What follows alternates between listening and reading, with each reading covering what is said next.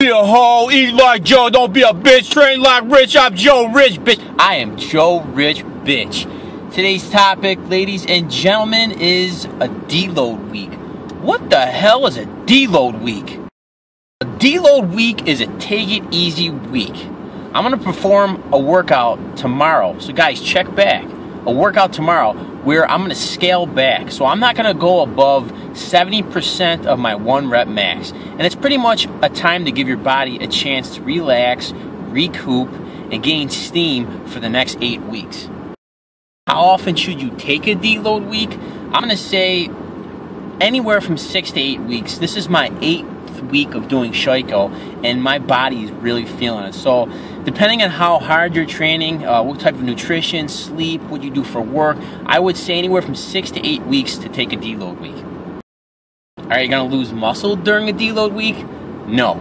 It takes a good three weeks to lose any type of muscle. So get it out of your head that you're going to lose muscle during a deload week. If anything, you're going to actually um, gain muscle. Your body's going to be like, you're going to shock your system, okay? If you're going 85, 90% of your one rep max, or even one rep max in it, like a lot of you guys do. You know, I'm not saying I'm not saying one rep max weeks are, are days are you know I would say you know, you know implement them in, but don't go don't do it every uh, every other workout or every once every week. You know, give it time. Let your body recoup. Yo, how much you lifting, Teddy? About 420 there, Bobby.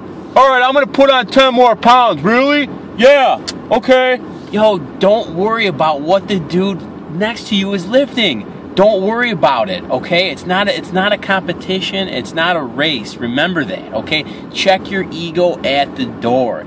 Just cuz you can bench or squat or deadlift, you know, X amount of pounds. Let's say you can squat 400 pounds, okay? And the dude next to you is doing 500. Don't don't worry about that dude. He may he maybe he's been doing it for a long time. He might be strong, okay? Don't worry worry about number 1, worry about yourself because in the long run, you know, it, that's all that matters is what you're doing and don't kill him. Okay, don't kill him with the one rep. Kill, kill them with volume. Tons of volume. Bust them up. Who's going to thank you? Who is going to thank you through this whole deload process? Well, your joints. Okay, your joints are going to thank you. Your muscles going to thank you. Everyone, everything. You know, a deload week. Definitely implement them in, guys. I can say two thumbs up. Um, this is part one. Uh, check again tomorrow for part two of the deload week. And deload weeks are good. Don't forget to subscribe to Joe Rich Bitches YouTube channel and comment below. Down here.